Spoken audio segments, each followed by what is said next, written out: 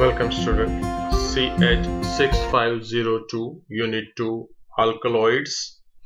In this unit we have discussed different type of alkaloids their general structural elucidation and all different information related to alkaloid how to get the structural information of alkaloid as well. In this lecture we will going to discuss one of the alkaloid that is coniine. I am Dr. Devangar Pandya from Department of Chemistry, St. Xavier's College, Autonomous, Ahmedabad. Let's begin with coniine introduction and its historical background. Hemlock Conium maculatum L. That is the plant family name of uh, a plant which contain this alkaloid. And this plant is a highly poisonous plant.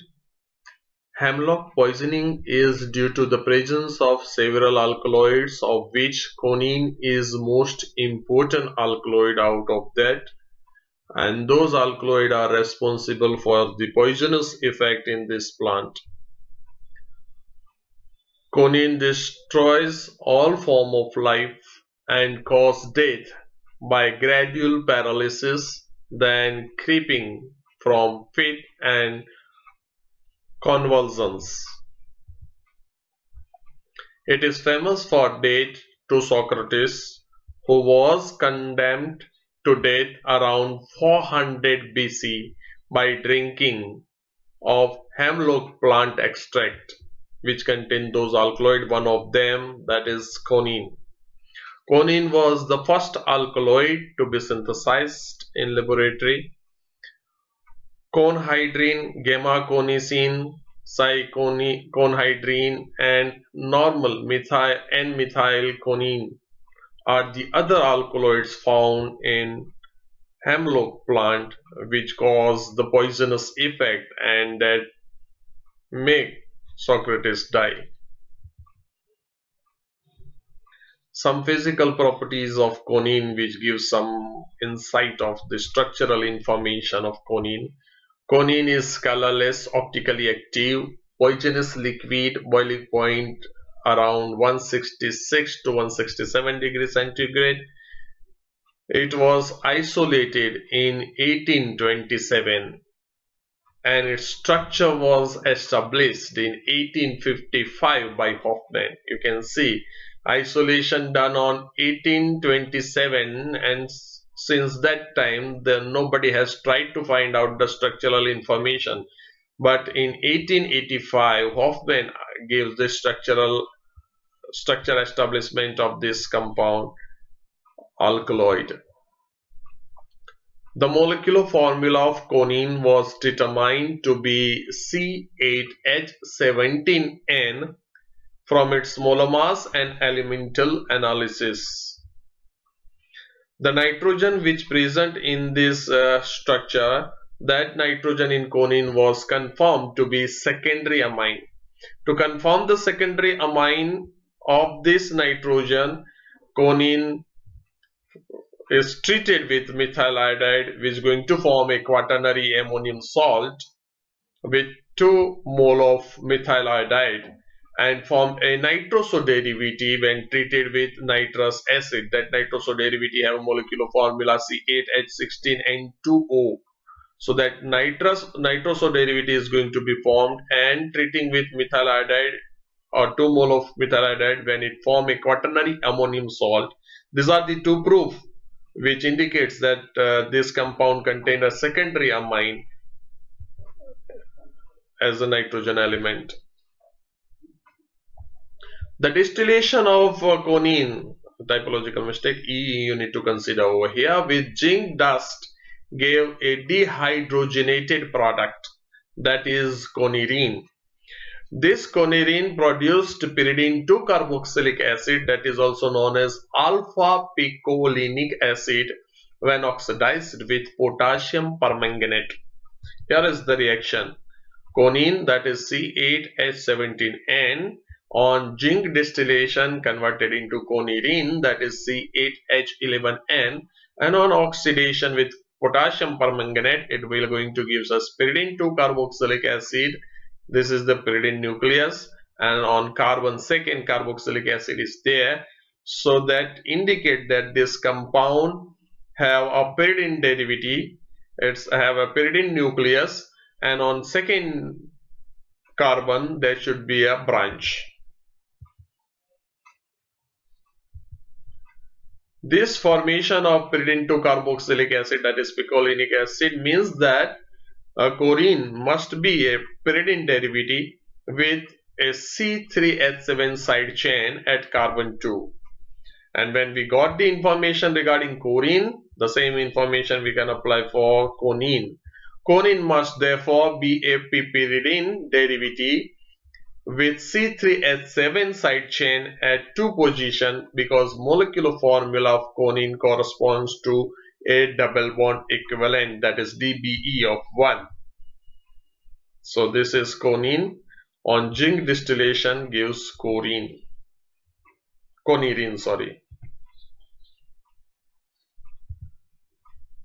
This side chain in coniine can be a normal kind or isopropyl type and it was confirmed by several reactions that side chain in coniine is not isopropyl but normal propyl type.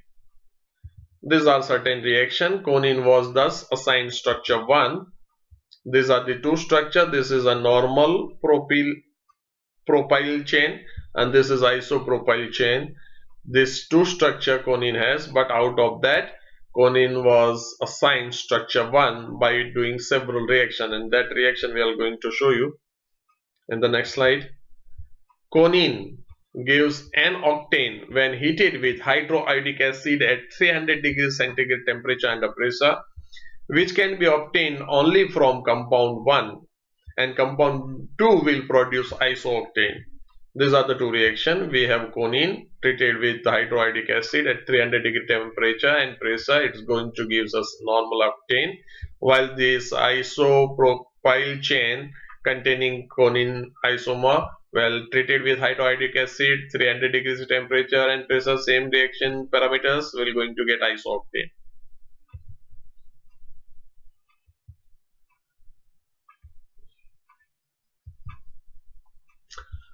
Second, that is a Hofmann exhaustive degradation or exhaustive methylation of coniine affords a diene that is conilene and that conilene affords an octane on reduction which can expected from structure 1 only not structure 2 that also prove that coniine has structure 1 we have coniine treated with methyl iodide, excess methyl iodide in presence of silver hydroxide. On heating, it will going to give us this ring opening reaction. So from this, the ring opening take place and it further treated with methyl iodide and it is exclusive methylation process followed by treatment with silver hydroxide. On heating, we're going to get conilene that is a diene and that diene on reduction will going to give us an octane and that only coniine normal propyl propyl chain can give this normal octane and that is why uh, this Hofmann degradation also proves that coniine have structure 1. Third is the von Braun degradation of coniine and that also support the structure 1. 1,5-dichlorooctane was formed when coniine was subjected to von Braun degradation. You can see here the von Braun degradation. We have coniine treated with acid chloride uh, followed by sodium hydroxide. We're going to get this carbonyl uh, derivative treated with PCl5. We're going to get dichloro derivative. Uh, the lone pair of electron will going to overlap between carbon and nitrogen. So chloride will depart and that chlorine will come in ionic form over here. Nitrogen which have now four uh, valencies so it's going to generate a positive charge on it. So carbon nitrogen from that bond a pair of electron will shifted on nitrogen so ring opening reaction will take place from this side.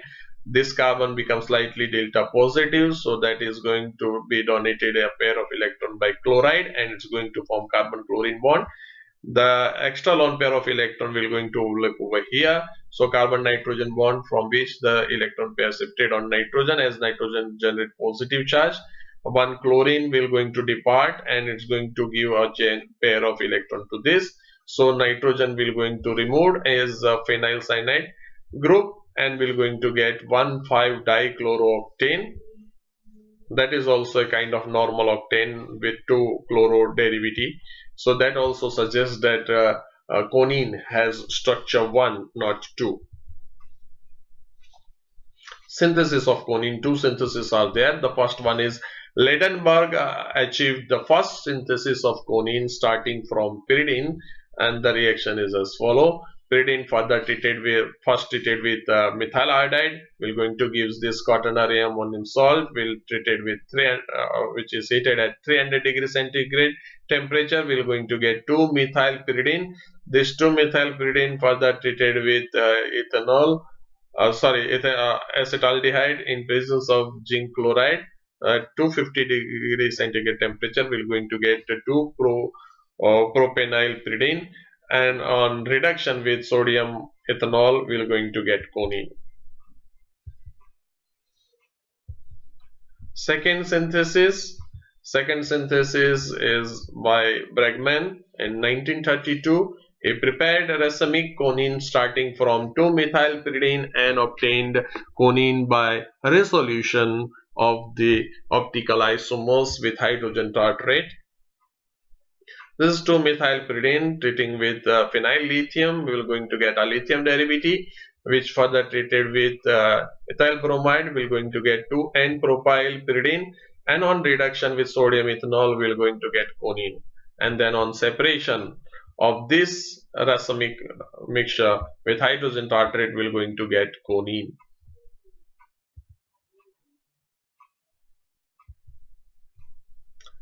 Well, this is something well this is uh, enough from my end. Thank you for paying attention to this video lecture.